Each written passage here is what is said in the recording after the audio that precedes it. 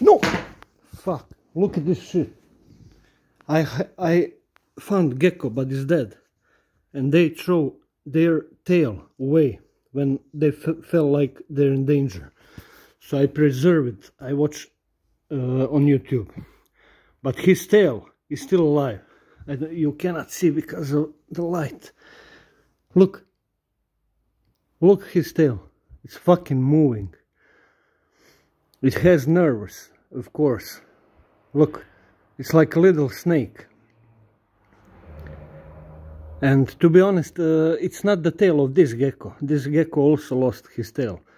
Uh, they tend to, if you try to catch them or predators or cats or whatever, attack them, they will just uh, dismiss it, you know. Detached, they can do that if they feel they're in danger. Look, it's still moving. It's unbelievable. I'll try a little bit to get it. Yeah, but as I'm spinning, it still stays there. I don't know how good can you see. Maybe this is better. Now it will probably, it, oh my god, it was for like three minutes. It was just jumping around. Let's shake a little bit.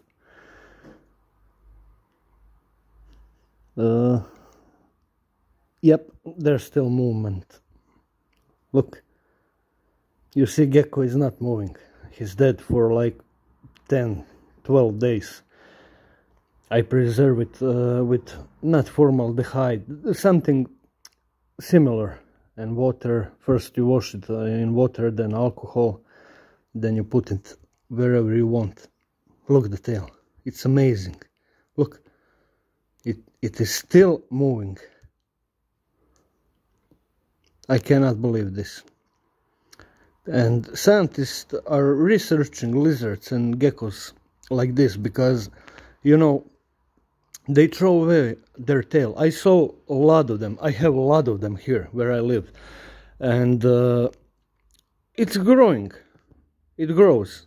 I don't know how long it takes, but it grows. So I saw very big lizards with very big tails, geckos, and I saw with smaller tails, me medium size, because they were growing. And that will be it. It still moves, but yeah, so I just wanted to show you. I found the tail, oh, here it is. It looks like uh, this dead gecko has a very big leg. Look, still moving. So find the tail, I immediately recognize it. It was among the woods for my fireplace and there's a bunch of them. That would be it.